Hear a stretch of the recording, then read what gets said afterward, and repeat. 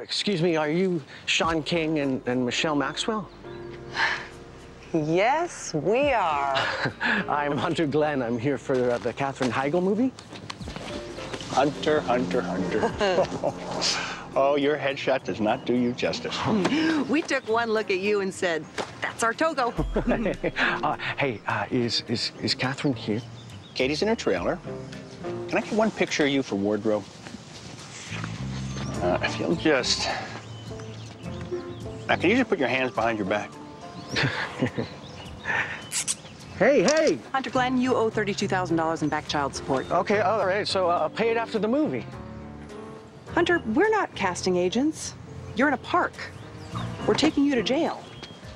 Uh, so, uh, Katherine and I don't have a shower scene? Never doubt me again.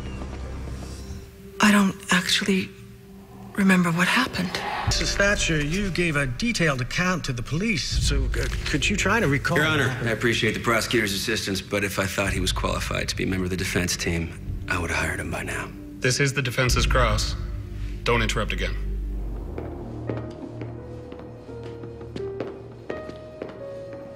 I Thought you'd forgotten about me. I don't forget about jury tampering or the lowlifes that do it. I want the evidence. And I want the file I asked you for.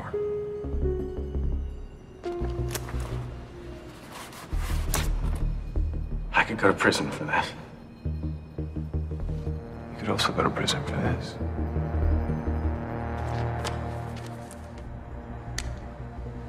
Not anymore. This makes us even. I remember you as a reporter, and I gotta say, never figured you for a guy who'd do deals like this. Things change. Doctor, have you ever seen Colonel Young attack one of his own men before? I, I wouldn't call it an attack. He was defending me. Have you ever seen Colonel Young have any kind of physical confrontation with one of his men? No. But I'm not military. You did serve at Icarus Base for a period of six months, which was under his command. Look, Spencer was out of control. He had to do something. Doc. Juice! Dr. Roger Downs, entrusted with the proceeds of charity activities, was funneling funds into his own pocket and covering his tracks by using a dummy accounting ledger. Now, when Holmstrom discovered the corruption, he confronted Downs and made a play for the highmost patriarch position in exchange for his silence.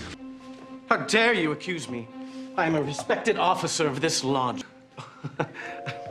Arthur Holmstrom's death was um, unfortunate, but I had nothing to do with it. Really? Did I? This is absurd. Holmstrom died of natural causes.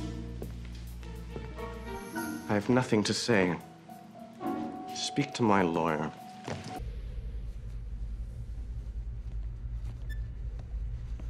Still here? Yeah, I got stuck with the late shift. Is it coming? It's not.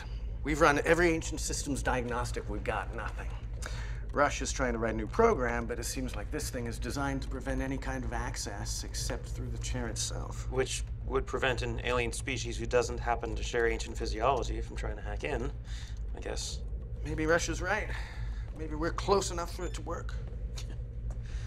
Believe me, if Rush thought it was safe, he'd be sitting there right now. Yeah. Maybe. You should get some rest. Nah. Rush is due to relieve me at 2300. If I wasn't here, I'd never hear the end of it. Maybe you could go to the mess and get me some of Becker's alien mashed potatoes.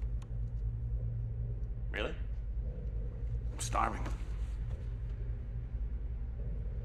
Okay. You got it.